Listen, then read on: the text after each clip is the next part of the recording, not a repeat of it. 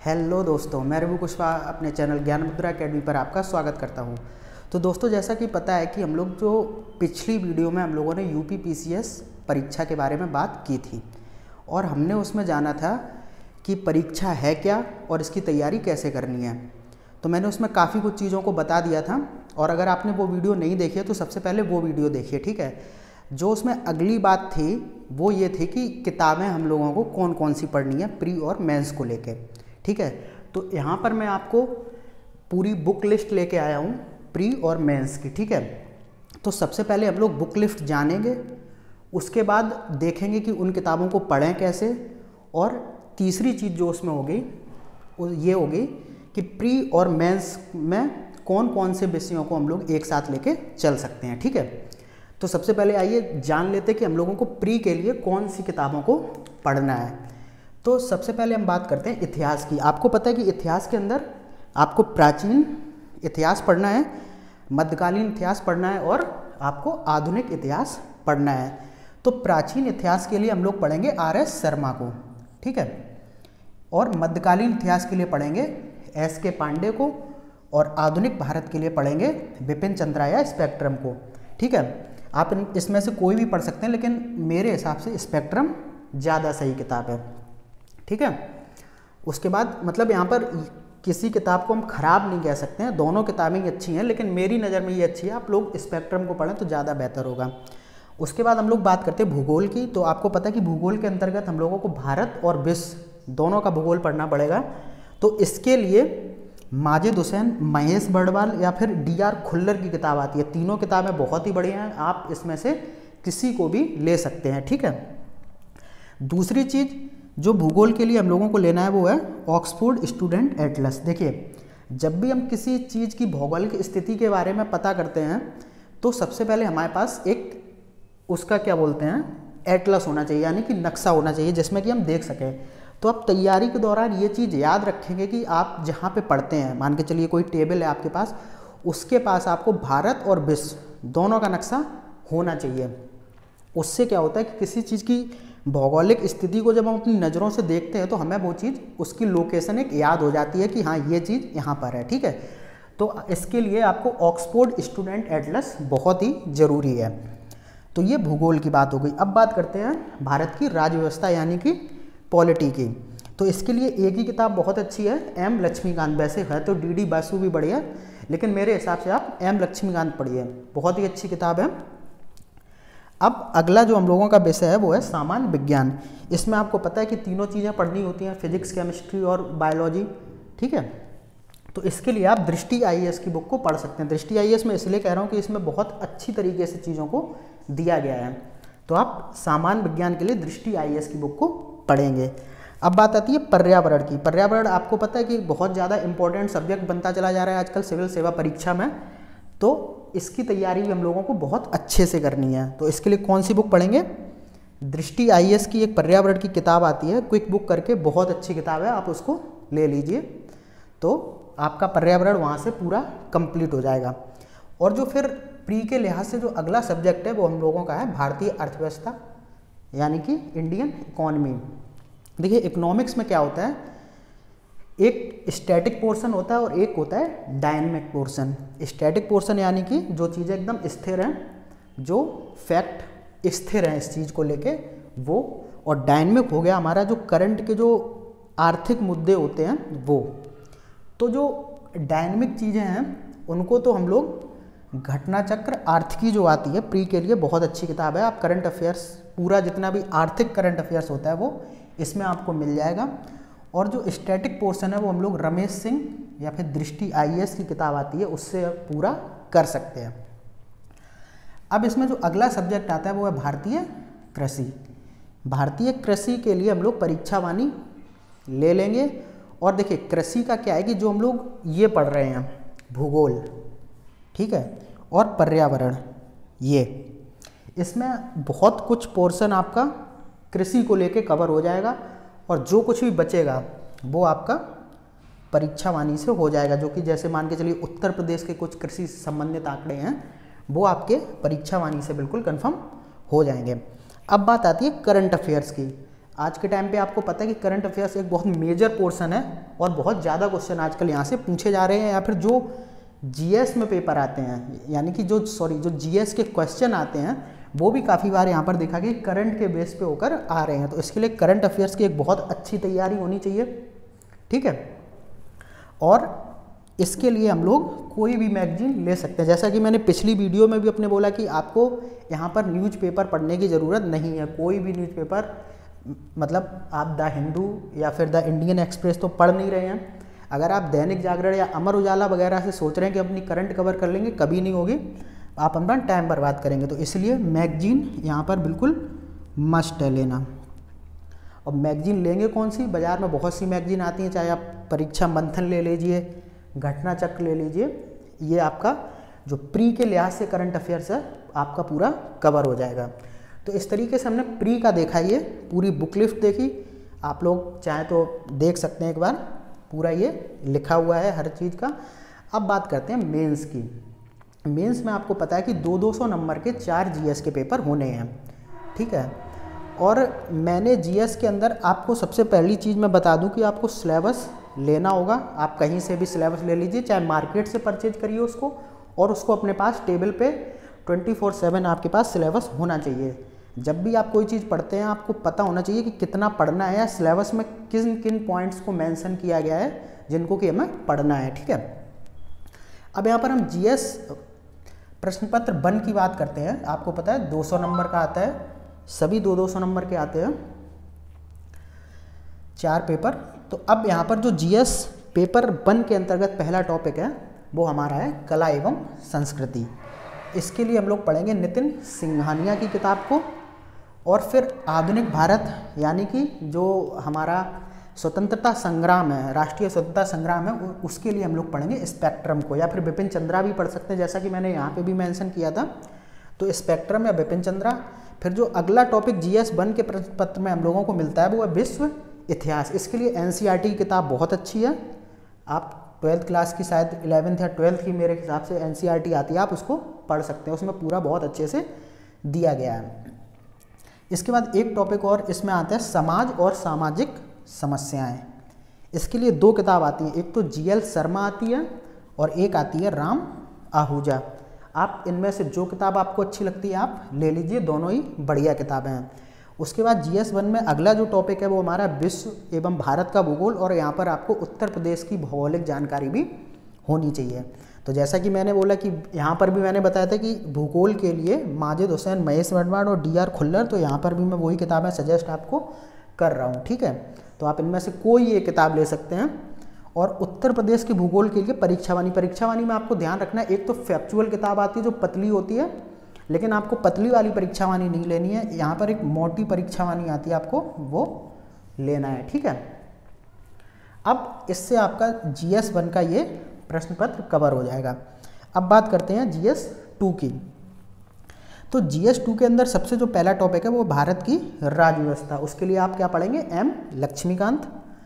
दूसरा टॉपिक है अंतर्राष्ट्रीय संबंध। अंतर्राष्ट्रीय संबंध आपको पता होना चाहिए कि ये करंट सैनरियो पे आधारित होते हैं, लेकिन फिर भी इनके लिए एक बुक पढ़िए। कॉन्सेप्ट के लिए राजेश मिश्रा और उसके बाद जितनी भी चीज़ें बची होती हैं, उनको आप करंट अफेयर से कवर करेंगे अंतर्राष्ट्रीय संबंध के अंतर्गत। और अंतर्राष्ट्रीय संबंध के साथ साथ अंतर्राष्ट्रीय संस्थानों के बारे में पूछा जाता है तो वो आप करंट के साथ ईजिली तैयार कर सकते हैं। और इसके लिए आप करंट अफेयर्स की, चाहे मेरे हिसाब से दृष्टि आई की जो करंट अफेयर्स की मैगजीन आती है, वो बहुत ही बढ़िया है। उसके अंतर्गत आपको जितने भी अंतर्राष्ट्रीय मुद्दे हैं, वो आपको बहुत अच्छी तरीके से मिल जाएँगे। अंतर्राष्ट्रीय संबंध से मुद्दे आपको बहुत अच्छी तरीके से मिल जाएँगे।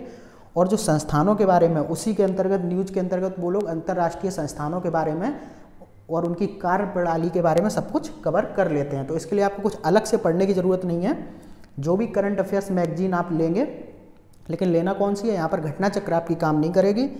यहाँ पर आपको दृष्टि आई मैं बता रहा हूँ, हिंदी माध्यम के लिए बहुत ही अच्छी किताब है। उसके बाद इसमें आएँगे समसामयिक मुद्दे, यानी कि करंट अफेयर्स का एक पूरा पोर्शन होगा जीएस पेपर टू के अंतर्गत। तो ये आपका दृष्टि आईएएस से कवर हो जाएगा। मंथली आती है ये किताब।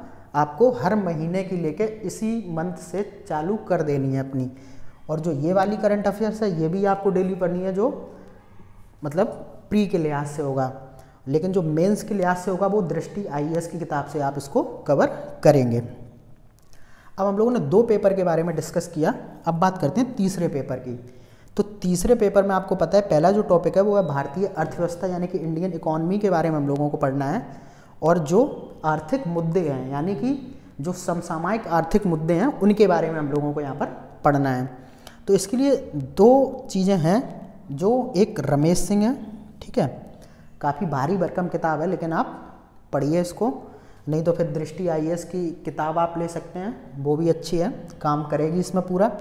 और जो समसामयिक आर्थिक मुद्दे हैं, उनके लिए हम लोग करंट अफेयर्स, यानी कि दृष्टि आई की जो करंट अफेयर्स की किताब है, उसको पढ़ेंगे। अब जो जी एस तीन के पेपर में हम लोगों का अगला टॉपिक है, वो है विज्ञान एवं प्रौद्योगिकी। तो विज्ञान एवं प्रौद्योगिकी को हम लोग जी एस सॉरी दृष्टि आई की किताब से इसको कवर करेंगे। बहुत अच्छे से कवर हो जाएगा। मैंने यहाँ पर, आप एक चीज़ देख रहे होंगे, कोई मैंने ऐसी किताबें नहीं यहाँ पर बताई हैं, ना ही कोई बहुत किताबों की संख्या बहुत ज़्यादा कर दी है। आप अभी देखेंगे, थोड़ी देर बाद मैं आपको बताऊँगा कि किस तरीके से किताबें प्री और मेंस के लिए कॉमन हो गई हैं और मैं बताऊँगा किस तरीके से आप एक ही किताब को पढ़ के प्री का भी काम कर लेंगे अपना और मेंस का भी काम कर लेंगे। तो इस तरीके से जीएस तीन के प्रश्न पत्र में हमने देखा विज्ञान एवं प्रौद्योगिकी के लिए आप दृष्टि, आईएएस की किताब को ले लेंगे। उसके बाद अगला टॉपिक पर्यावरण है। इसके लिए भी आप दृष्टि आई किताब को ले लीजिए। बहुत अच्छी, मैं वो किताबें इसलिए बता रहा हूँ क्योंकि वो सही में अच्छी हैं। ठीक है? उसमें काफ़ी कुछ चीज़ें एकदम कैटेगराइज वाइज बहुत अच्छे से बताई गई हैं और आप एक व्यवहारिक समझ उन किताबों को पढ़ के ले सकते हैं। तो इसीलिए मैं वो किताबें सजेस्ट कर रहा हूँ। एक यहाँ पर जीएस प्रश्न पत्र के अंदर एक टॉपिक आपका और आता है, वो है आपदा प्रबंधन। तो आपदा प्रबंधन में हम लोग एन e को पढ़ेंगे, ठीक है? किसको? एक आपदा प्रबंधन की एन e आती है, आप उसको पढ़ेंगे। और इसमें जो जीएस प्रश्न पत्र में जो हम लोगों का अगला टॉपिक है, वो है आंतरिक या फिर राष्ट्रीय सुरक्षा। इसके लिए एक किताब आती है अशोक कुमार। ठीक है, आंतरिक या राष्ट्रीय सुरक्षा के लिए कौन सी किताब आती है? अशोक कुमार। तो आप इसको ले लेंगे और यहाँ पर एक चीज़ और है, जो आंतरिक सुरक्षा है, वो कहीं ना कहीं करंट से रिलेट करती है। जो भी समसामयिक मुद्दे होते हैं, उनसे रिलेट करती है। तो आप इसके लिए करंट अफेयर्स की वही दृष्टि आई की मैगजीन इन सभी में काम करेगी वो। देखिए, जो मेंस होता है वो ज़्यादातर समसामयिक मुद्दों पर आधारित होता है। अगर जीएस का भी कोई प्रश्न बन के आता है तो हो सकता है उसके अंदर कुछ करंट का सीन ज़रूर हो उसके अंदर। तो आप करंट को बहुत अच्छे से तैयार करेंगे। ये एक पहली शर्त है इस मेंस परीक्षा को पास करने के लिए। तो ये हमारा जीएस का तीसरा प्रश्न पत्र हो गया। अब जीएस जो प्रश्न पत्र चौथा होता है उसमें आपको पता है कि नीति शास्त्र, यानी कि एथिक्स इसके अंदर पूछा जाता है। तो एथिक्स के लिए दो किताबें मैं आपको बताऊँ, एक तो लेक्सकन है और दूसरा है अभय कुमार की किताब आती है। तो आप इनमें से कोई भी किताब को ले सकते हैं, दोनों अच्छी हैं, ठीक है? और इसके अंदर केस स्टडी पूछा जाता है एथिक्स के अंदर। तो आप किसी कोचिंग के नोट्स को, दृष्टि विजन जो भी आपको अच्छा लगे धे आई वगैरह, उनको ले सकते हैं और उनको सॉल्व करिए ताकि आपको एक बेहतर पकड़ हो सके। एग्ज़ाम में जाके आप केस स्टडी को अच्छे से सॉल्व कर पाएँ। तो ये हमने चार जीएस के प्रश्न पत्र देखे। और अब बात करते हैं जो अगला प्रश्न पत्र मैंने कल भी बताया था कि हिंदी का प्रश्न पत्र होगा, सामान्य हिंदी का। उसके अंदर आपको पता है पत्राचार होता है, गद्यांश होता है, ब्लोम शब्द, लोकोक्तियाँ, मुहावरे वगैरह, ये चीज़ें होती हैं। तो हिंदी की दो किताबें एक हरदेव बारी और पी एन पांडे है। और यहाँ पर जो पत्राचार वगैरह के लिए आप एक घटना चक्र की किताब भी आती है, आप उसको ले सकते हैं। तो उसमें कोई बहुत बड़ी दिक्कत वाली बात नहीं है, हिंदी बहुत आसानी से तैयार हो जाती है, ठीक है? अब जो अगली बात आती है, निबंध की। ये, निबंध आपको पता है कि डेढ़ सौ नंबर का प्रश्न पत्र है आपका यहाँ पर, और इस डेढ़ सौ नंबर में आपसे तीन निबंध पूछे जाएँगे, जिनकी शब्द सीमा सात सौ होगी, ठीक है?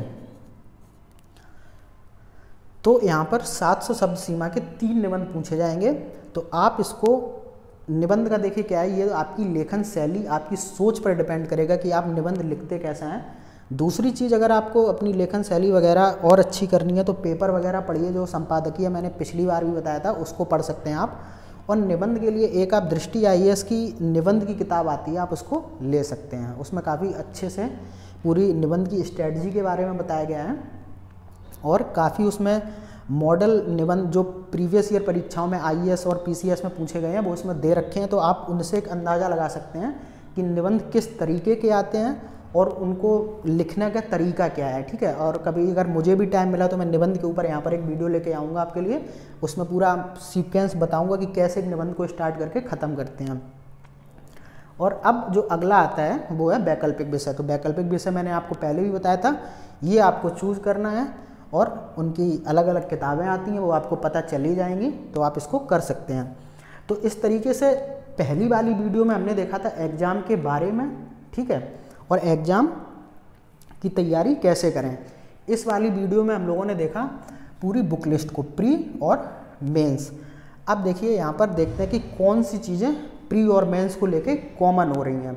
और जो चीज़ें कॉमन हो रही हैं, उनको हम लोग बड़े अच्छे से एक साथ तैयार कर सकते हैं। तो अगर हम बात करें यहाँ पर इतिहास को देखकर चलिए चलते हैं। तो यहाँ पर प्राचीन इतिहास आपको पता है कि वहाँ नहीं पूछा जाएगा मेंस के अंदर। तो इसके लिए प्री को, प्री में प्री के लिए इसको अलग से पढ़ेंगे। मेन से कोई मतलब है ही नहीं प्राचीन इतिहास का। प्राचीन इतिहास यहाँ पर जो पूछा जाएगा इतिहास से वो है कला एवं संस्कृति। कला एवं संस्कृति हम लोग अलग से तैयार करेंगे मेंस के लिए। तो यहाँ पर इन चीज़ों को हम लोग साथ लेके नहीं चल सकते हैं। अब बात करते हैं मध्यकालीन भारत भी हम लोग प्री के लिए ही सिर्फ़ तैयार करेंगे क्योंकि ये मेंस में नहीं आता है। अब बात करते हैं आधुनिक भारत की। ये चीज़ यहाँ पर कॉमन हो रही है। यहाँ पर भी आधुनिक भारत है और यहाँ पर भी है। तो दोनों चीज़ों को हम लोग साथ लेके ऐसे चलेंगे कि हर चीज़ का कॉन्सेप्ट भी लेंगे और फैक्चुअल डेटा भी लेंगे। फैक्ट हमें तभी याद रहेंगे जब पीछे का कॉन्सेप्ट पता होगा। नहीं तो अगर आप फैक्ट ही रटने की कोशिश करेंगे तो आप कुछ दिन बाद उन फैक्ट्स को भूल जाएँगे। तो अब यहाँ पर आधुनिक भारत हम लोग एक साथ लेकर चलेंगे। यहाँ पर भी हो गया आधुनिक भारत, यहाँ पर भी हो गया। अब यहाँ पर जो टॉपिक है विश्व इतिहास, ये हम लोग साथ लेके नहीं चलेंगे, ये सिर्फ़ मेंस के टाइम पे हम लोग इसको पढ़ेंगे। ऐसे यहाँ पर भारत के भूगोल और विश्व का भूगोल, ये जो पूरा पोर्शन दिख रहा है प्री और यहाँ पर आप देखिए मेंस दोनों में सेम किताब है सेम टॉपिक आपको दोनों एक साथ लेकर चलना है, इसको अलग अलग नहीं पढ़ना है। यहाँ पर जो एक टॉपिक आपका है, समाज और सामाजिक समस्याएँ, वो आपको सिर्फ़ मेंस के लिए पढ़ना है तो आप इसको मेंस के टाइम पे ही पढ़ें। मैं जो चीज़ों को कॉमन बता रहा हूँ, आप उसको अभी से पढ़ना स्टार्ट कर देंगे, यानी कि दोनों चीज़ों को साथ लेके चलेंगे। उत्तर प्रदेश का भूगोल आपको ही पता है प्री में भी आएगा मेंस में भी आएगा तो इनको एक साथ लेके चलेंगे, यानी कि जो मोटी वाली परीक्षा वानी है, उसको अभी से पूरा बहुत अच्छी तरीके से तैयार कर लेंगे। ठीक है? अब बात आती है भारतीय राज्य व्यवस्था की। यहाँ पर भी मैंने लक्ष्मीकांत किताब बताई है और आपकी यहाँ पर भी जीएस प्रश्न पत्र में जो दूसरा प्रश्न पत्र है, उसके अंदर जो भारत की राजव्यवस्था पूछा जाएगा, दोनों में मैंने लक्ष्मीकांत की किताब बताई है और आप इसको एक साथ बड़े आराम से लेके चल सकते हैं। अब यहाँ पर देखिए, और इनमें जो है जीएस प्रश्न पत्र टू में देखें तो अंतर्राष्ट्रीय संबंध। ये प्री से इसका कोई मतलब नहीं है तो हम लोग इसको मेंस के टाइम पे ही पढ़ेंगे। और करंट अफेयर्स तो हमेशा ही पढ़नी है। इन मुद्दों को तो हमेशा ही साथ लेके चलना है। जितने भी आर्थिक मुद्दे हों करंट अफेयर्स के, चाहे कोई राजनीतिक मुद्दे हों, सब कुछ हम लोगों को साथ लेके चलना होता है। अब करते हैं सामान विज्ञान की बात। तो सामान विज्ञान यहाँ पर भी है, और विज्ञान एवं प्रौद्योगिकी यहाँ पर भी है। तो दोनों चीज़ों को हम लोग साथ लेके चलेंगे। बस ये है कि देखिए, जितनी भी चीज़ें हैं मेंस के लिए बड़े आराम से आप कॉन्सेप्ट वाइज तैयार कीजिए और प्री के लिए अच्छे से फैक्चुअल डेटा भी आप उनका तैयार कर लीजिए। कोई दिक्कत वाली बात नहीं होती इसमें। और ऐसे ही पर्यावरण पर्यावरण यहाँ पर भी आपका है जीएस पेपर तीन के अंतर्गत। तो पर्यावरण को भी साथ लेकर चलेंगे। आपदा प्रबंधन, आपको पता होगा कि आपदा प्रबंधन को वैसे साथ ही लेके चलिए, क्योंकि वहाँ पर भी काफ़ी बार क्वेश्चन पूछ लिया जाता है तो आपदा प्रबंधन साथ लेकर चलेंगे। अब बात आती है इसकी, आंतरिक एवं राष्ट्रीय सुरक्षा। तो इसके लिए आप मेंस के टाइम पे ही इसको पढ़ेंगे, ठीक है? तो यहाँ पर अब आपको बहुत अच्छे, और यहाँ पर जो जी एस चार है, प्रश्न पत्र, आपको पता है वो एथिक्स का होता है तो यहाँ पर इसको साथ लेके नहीं चल सकते, इसको हम लोग मेंस के टाइम पे पढ़ लेंगे। तो अब आपने एक चीज़ देख ली होगी कि कौन चीज़ें यहाँ पर कॉमन कौन चीज़ें प्री और मेंस के अंदर कॉमन है, उनको हम लोग साथ लेके चल सकते हैं। आपने बहुत अच्छी तरीके से देख लिया होगा, तभी मैंने ये चीज़ें पहले ही लिख दी, जिससे कोई कन्फ्यूज़न ना हो। अब रही हिंदी वगैरह की बात तो ये चीज़ें आप मेंस के टाइम पे ही देख सकते हैं। इतना कोई मतलब हिंदी में टाइम नहीं लगता है कि कोई बहुत ज़्यादा वो हो। ऐसे ही निबंध को, निबंध का कुछ ऐसा है कि लेखन शैली तो आप विकसित करिए।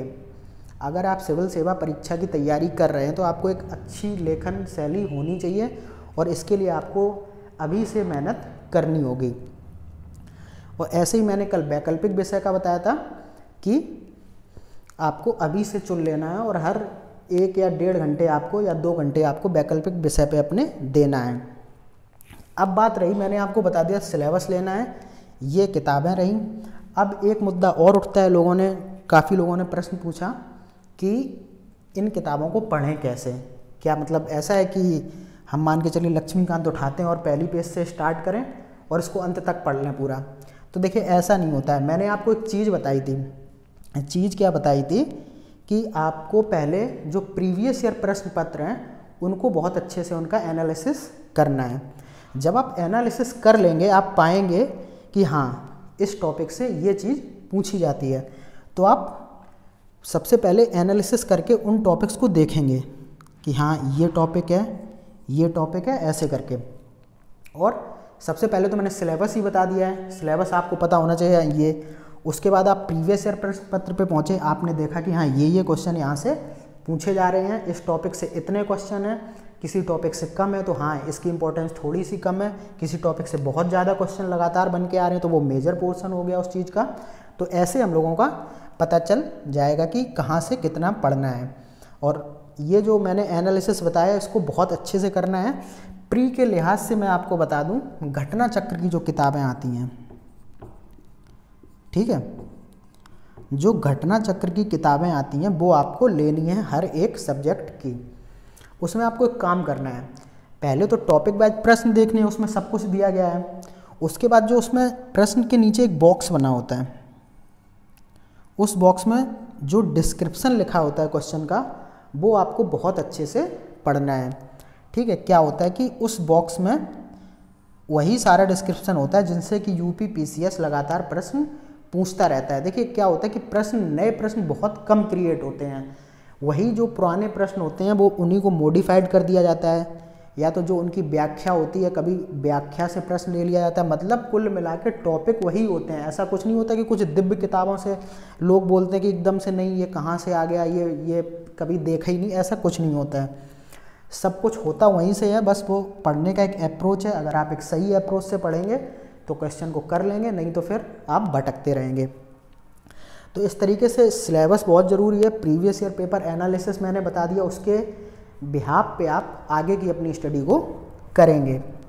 मतलब कि बुक को पढ़ेंगे, पूरी बुक आप जब एनालिसिस कर लेंगे, आपको पता चल जाएगा कि हाँ पूरी बुक नहीं पढ़ना है। कुछ ऐसे टॉपिक को आप एकदम सेलेक्ट करते जाएँगे और एक क्रम से उनको पढ़ते जाएँगे। उसके बाद हम लोगों ने सभी कुछ चीज़ें देख ली हैं इसके अंदर। हम लोगों ने एग्ज़ाम के बारे में देख लिया, ठीक है? एग्ज़ाम की तैयारी करनी कैसी है? मैंने पूरा प्रोसेस बता दिया कि पहले एन e फिर पेपर एनालिसिस फिर किताबें फिर टेस्ट सीरीज़ को आपको करना है। तो उसके अगले ही मैंने आपको बता दिया कि प्री और मेंस के लिए कौन कौन सी किताबें पढ़नी है और प्री मेंस को कैसे एक साथ लेके चलना है। ठीक है? ये चीज़ें भी आपको क्लियर कर दी। उसके बाद मैंने बता दिया कि घटना चक्र का भी कैसे प्रयोग करना है और किताबों को पढ़ना कैसे है। तो ये सब सारी चीज़ें आपको बहुत अच्छे से क्लियर हो गई हैं। फिर भी कुछ आपको लग रहा है कि छूट गया तो आप कमेंट करिए, बताइए। मैं उसके ऊपर वीडियो लेके आऊँगा। ठीक है, चलिए फिर थैंक यू